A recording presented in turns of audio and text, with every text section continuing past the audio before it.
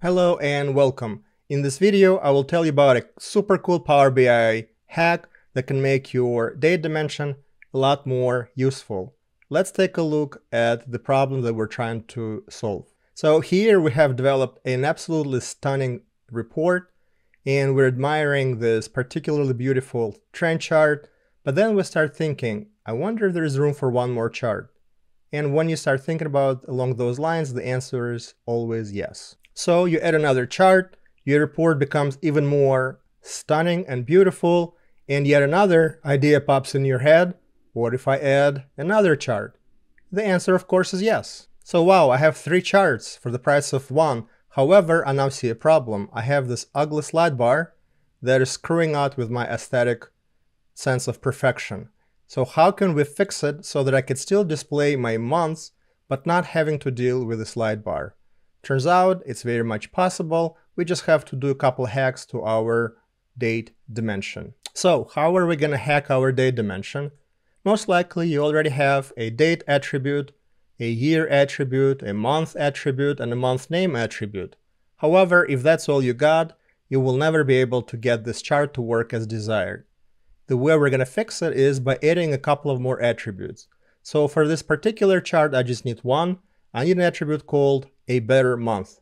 Now, you probably can come up with a cooler and more creative name, but I'm just trying to make a point. This month works much better than your existing good old month attribute. What do you need to write into this column? Well, the most important thing that it has to be a date.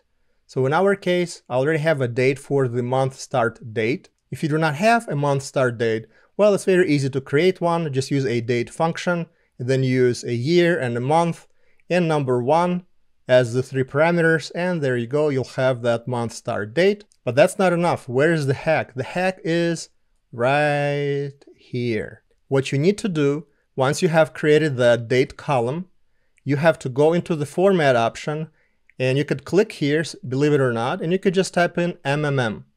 So in lowercase mmm, and what that will do, it will format that date to state the name of the month. Let's take a look at the data. So here you can see the three columns you've, I've added, a better month, a better year, and a better day. So day is just our original date, but that's formatted as, and then you could see that instead of the date, we just see the day number. The year is just the January 1st of every year in my data set.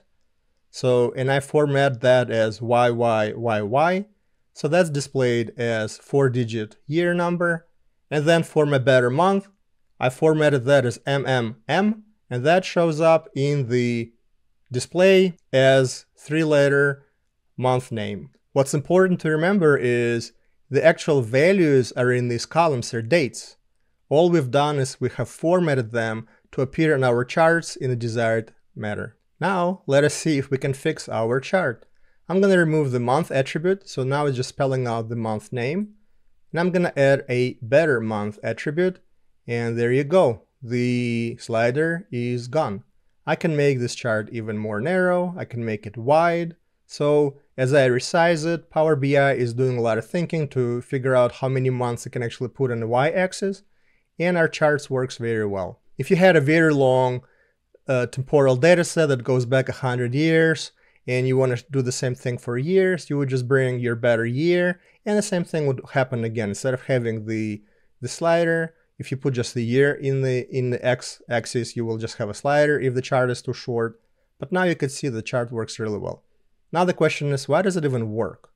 Well, turns out that when the type of the data that you drag in your x-axis is date or a number, and you go into your x-axis, you will have this new thing, it's called type. Well, not really new, it's been there forever, but you may not have paid attention to it.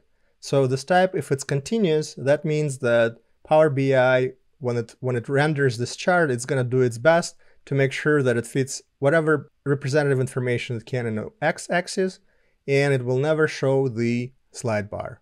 If I make this categorical, the slide bar will show up and uh, that's the default behavior behavior for for any other data type. So for example, if I were to bring a um, a month name in here, then I would not even have an option for continuous. I would only have an option. I would not even be able, able to see this type that option because everything would be categorical by default. So the way we fix it is we want to make sure that our chart is using the continuous and as long as the field that we dra drop in the x-axis is a date, then everything will work just fine. That's about it for today. I want to keep this video nice, sweet, and short. If you found this video to be useful, we would really appreciate a like and a subscribe. You can visit our website obvience.com for inspirations on good design patterns, on visualizations. You could check out our courses and accelerator. Thank you so much for stopping by and please come back again soon for the next one.